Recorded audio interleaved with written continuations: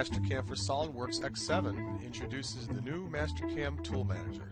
Tool Manager was designed to easily organize tools, holders, and assemblies, along with material properties and cut parameters, all within a standalone product.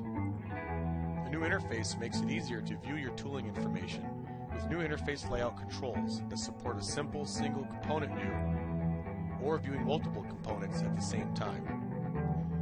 Tool Manager has the flexibility to easily create new tools with a new streamlined tool creation dialog, complete with a 3D parametric preview.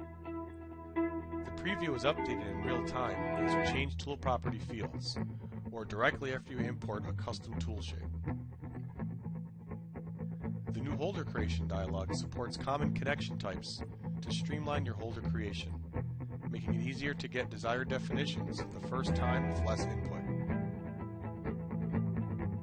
Tool and holder assemblies are easy to create with simple drag and drop functionality and graphical feedback interaction.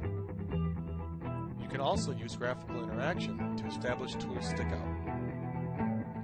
Saved assemblies are ready to be imported and used in Mastercam for SOLIDWORKS X7 Mill. Easily filter large, extensive databases by dragging single or multiple column headers. Tool Manager's filters make it easy to search by tool diameter, tool length, or even a combination of both tool diameter and length. Holders can be filtered to quickly find the correct connection type for an intended machine tool. Once you have a tool database in place, it seamlessly integrates with Mastercam for SOLIDWORKS X7. New tool creation within Mastercam for SOLIDWORKS X7 also uses the new streamlined tool definition pages You can import full tool assemblies previously defined in the Tool Manager, simplifying your workflow.